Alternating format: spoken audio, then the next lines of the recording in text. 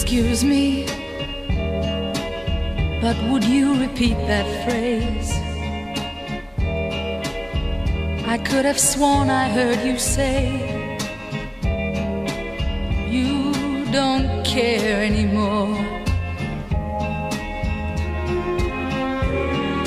Excuse me, but I can't believe my ears. After all these years, you just don't care anymore? You can't mean it.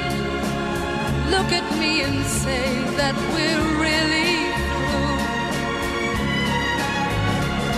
Now I see it when you look at me that way, and suddenly I know it's true.